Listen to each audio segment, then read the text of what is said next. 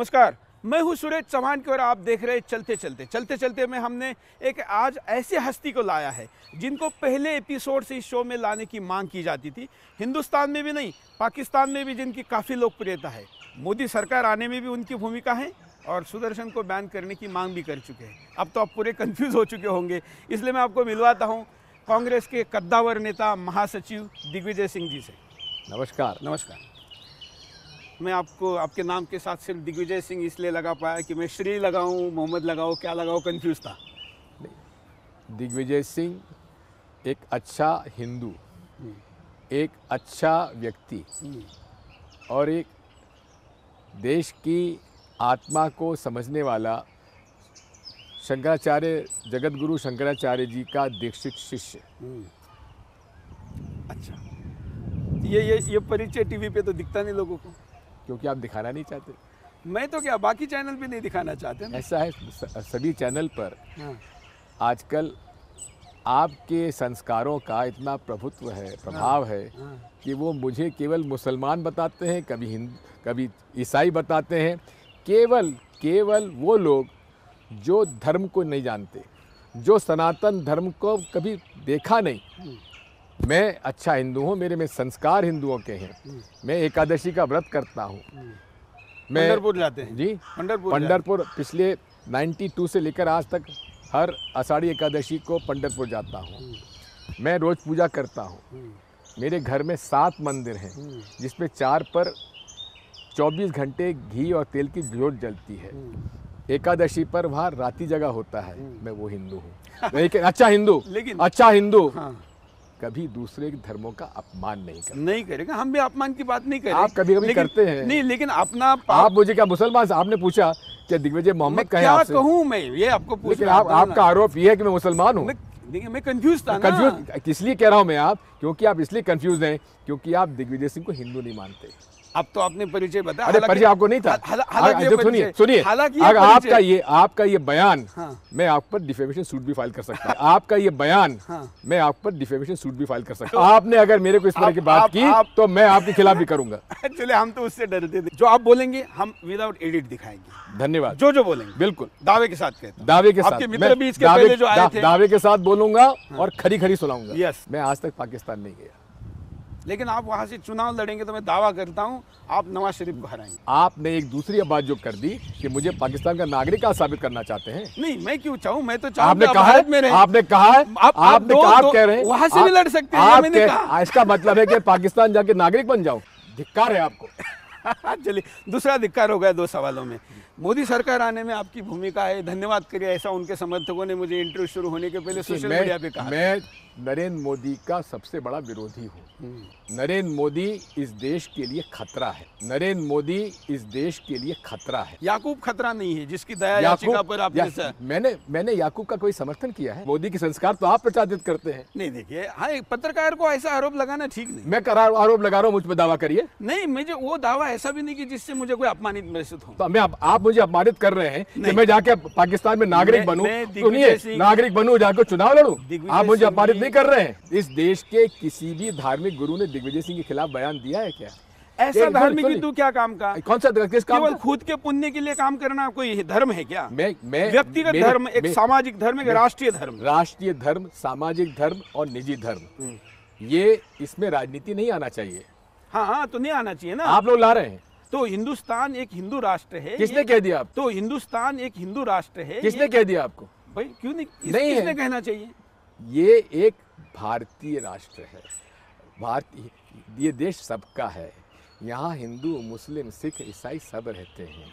आपका तो नेपाल तक ने मना कर दिया कि हिंदू राष्ट्र नहीं बनेंगे। शर्म आनी चाहिए आपको। देखिए आप आप कह रहे हैं। देखिए आप खुद हिंदू होके मुझे कह रहे हैं। हाँ। आपको नहीं बुरा लगा कि नेपाल हिंदू राष्ट्र नहीं बिल्कुल नहीं लगा। क्यों नहीं लगा? इसलिए नहीं लगा क्योंकि जो भी धर्म के नाम पर जो आपने स्टेट बनाया है, इन्होंने पाकिस्तान बनाया इस्लाम का इस्लामिक कंट्री आज हालत देख लीजिए वहाँ हालत क्या हो रही है?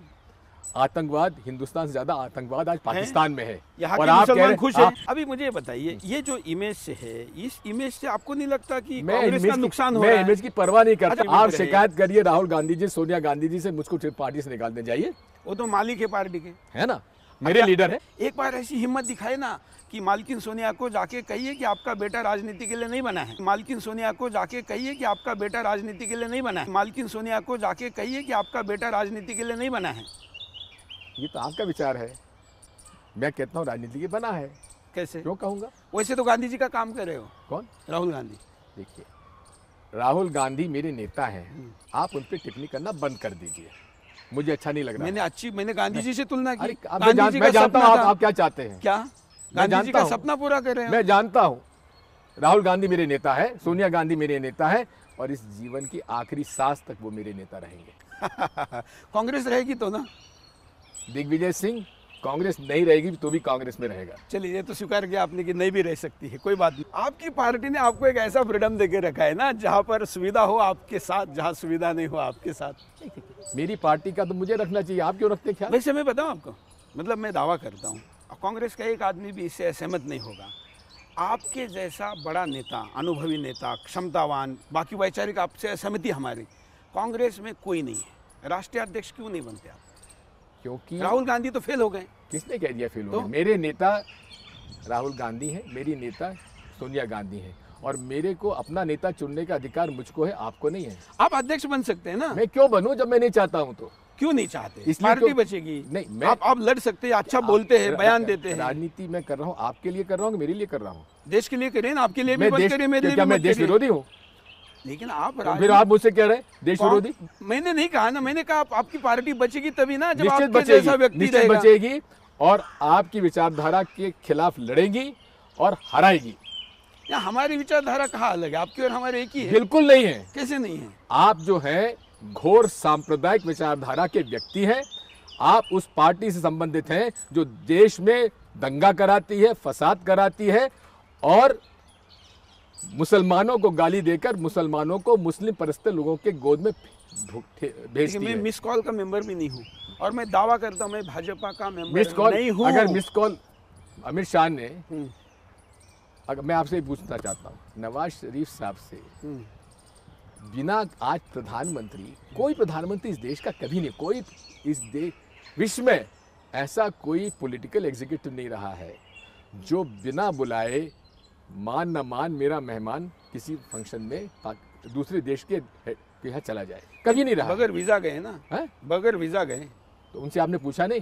मेरी भी इच्छा है कि मैं पाकिस्तान जाऊँ बगैर वीज़ा का जाऊँ। मेरी भी इच्छा है कि मैं पाकिस्तान जाऊँ बगैर वीज़ा का जाऊँ। आपका पक्ष का मतलब होगा कि आतंकवादी वीज़ा लेके आ आ, जाए आप जाओ ना। मैं तो जाऊँगा ना। जाओ ना वीज़ा। जाऊँगा ही। एक बात कर हूँ। अच्छा, आपने, आपने कहा अगर तुमने कहा हिम्मत हो तो देख के बताओ। आप करके दिखाओ दिखाओ। जो कहता हूँ करके दिखा दिखाओ। आप इंटरव्यू छोड़ के तो नहीं जा सकते। अभी चले इंटरव्यू कर लेता अभी चले जाओ। माफ़ करेंगे सुरेश जी आपको इतिहास की जानकारी नहीं है। अब वो इतिहास तो नहीं पता जो गुलामों ने लिखा है। अब वो इतिहास तो नहीं पता जो गुलामों ने लिखा है। जैसे गांधी जी को मारा उसको आप हत्यारा कहते हैं हत्यारा सबसे बड़ा मारेगा तो उसको आप क्या कहेंगे? सबसे बड़ा हत्यारा नाथुराम गोडसे अच्छा, और सबसे बड़ा आतंकी नाथुराम गोडसे अच्छा। और गोडसे की विचारधारा आतंकी विचारधारा। आपको कोई मारेगा तो उसको क्या कहना चाहिए? हत्यारा।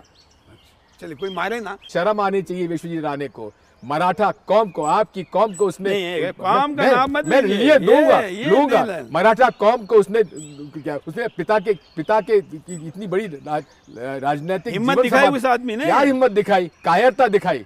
शपथ लेने के पहले अरे बेकार। सुबह साढ़े दस बजे हम्म। हमारे विप पे साइन कर रहा है। हम्म। और उसके बाद चला गया? ये तो धोखेबाज है। अंतरात्मा धोखेबाज है। मराठा कम्युनिटी को उसने लज्जित किया है। नहीं ये ठीक नहीं मैं कह रहा हूँ अच्छा मैं कह रहा हूँ आपको मैं मराठा मुख्यमंत्री मैं। मराठा कम्युनिटी के का पक्षधर रहा हूँ हम्म। समर्थक रहा हूँ पवार साहब का मैं मित्र हूँ राणे साहब का मैं सम्मान करता हूँ लेकिन विश्वजीत ने पूरे परिवार को राणे परिवार को और मराठा मतलब संप्रदाय को उसने अरे पहले से क्यों नहीं भाजपा से लड़े? नहीं लेकिन भाजपा से पैसे क्यों नहीं लड़े? उसका स्वाभिमान जाग गया कि स्वाभिमान जाग गया। स्वाभिमान कौन बना रहा था? लिए? बना रहे थे। उसको, मालूम था गबर काबत को बना रहे हैं। उसको मालूम था? मैंने गीता भी पढ़ी है। मैंने कुरान भी पढ़ी है। मैंने बाइबल भी पढ़ी है। गुरु ना गुरु ग्रंथ साहब भी पढ़ा है। मैं सभी धर्मों का सम्मान करता सबसे आखिर में आपने कुरान पढ़ा होगा। नहीं मैंने गजनी जैसा वही याद रहा पहले भूल गए। आप बोलते शिशु मंदिर से कैसे कैसे हिंदू तैयार अरे छोड़िए साधु संत तैयार हो रहे हिंदू हो एक, रहे एक साधु संत नहीं हुआ फ्रॉड साधु संत आपने बनाए हुए हैं। फ्रॉड शंकराचार्य विश्व हिंदू परिषद ने बनाए हुए हैं। फ्रॉड शंकराचार्य विश्व हिंदू परिषद ने बनाए हुए हैं। मोदी दिन रात काम कर रहे हैं और आप उसके बावजूद आपके अधिकारी इधर उधर ऐसे लगे हुए लॉयल लोग लगे हुए हैं तो मुश्किल तो होगी।